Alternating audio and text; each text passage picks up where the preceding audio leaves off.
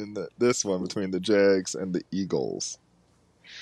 Um, so this is a little bit tough. I want to be backing the South Alabama Jaguars here. Mm-hmm.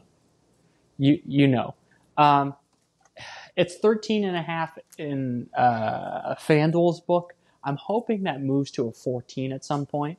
Um, the reason why I like the Jaguars is, as we mentioned during our Sun Belt breakdown, they're going to have uh, they have a QB that started in the last three or four games of the season, and they they improved and ended up uh, winning the last game of the year versus um, Arkansas State.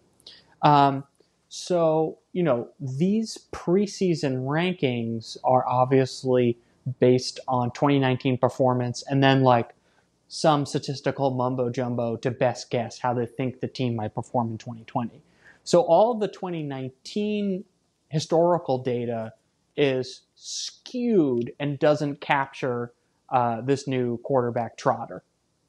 Mm-hmm. So if you look at Sagarin's like recent number Mm-hmm. he, from 2019, this should be about 11 and a half point differential. That guy Brad Powers, I sent you his power ratings, his preseason power ratings.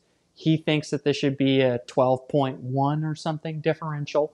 So, at least according to those power ratings from the end of the year last year and preseason, it looks like we're getting a little bit of extra value in this market, 13 and a half. Um, so I'd prefer to bet it at 14, but I'm probably going to bet it at 13 and a half for I- the Jaguars. Okay, I'm definitely going to push back on that one. Like we, I feel like if if if the computer rating on the game is 12, then in order for us to capture value, we at least got to get to 14, because like 12, like 13 isn't a key enough number. Like I, ideally, we would get 14 and a half. I see a 14 and a half at Bookmaker, by the way, but that would be Ooh. ideal because Yeah. like then then we could say we're making a value pick with the dog here. Uh, look, I agree with the idea that USA is on the upswing, right? Like hundred percent. Like, in point of fact, things usually go better in a coach's third year. Like he's got his boys in there. He's got a couple years to get the plays down. Like this is his time to shine. Um, Got all the two stars lined up. It's in Mobile. hey, hey, you know something? A football team that plays together is is really good. Like even even if, it. no, even, it. even if they have no talent, if they play together, they're really good. Because it's Uh-huh. like it's a symphon- it, it's a synchronized ballet of destruction. Like that's what football's about. So if everyone's you know doing the right things, you can fuck people up. I mean. I know we also liked the Eagles, right? When we did the frickin' um C- uh, CUSA preview, right?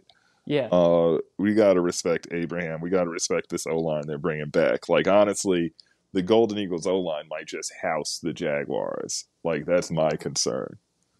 Like, yeah, that's you're you're right. The only the other knock um, is that, as I mentioned in the CUSA roundup, we have um, a a linebacker, a running back, and I think someone on the defensive line have all opted out. I mean Um, that's which fair. Obviously, but yeah, they, which obviously aren't even in those numbers, those power rating numbers. but they You're got, right. but they got a to huge size 14 advantage. Like you know what I mean? Like yeah, Sure. I think if we can I think if we can get this at a 14, 14 and a half, we should we should send it. All right then. All right then. I mean, let's keep our eye out for that. So we're gonna go ahead. We're gonna we're gonna go ahead. Let's go ahead and be fair because 14 is a more available number right now. So let's Okay. go ahead and grade ourselves at 14. But Okay, uh, let's do it. but uh, but yeah, like You're taking notes? um, oh, you betcha. Okay. Yeah. Like yeah, no, I'm definitely keeping track of our bets and like, you know, like it's it's it's it's a good habit. It's a good habit. Um okay, so yeah, we like USA plus 14 and we are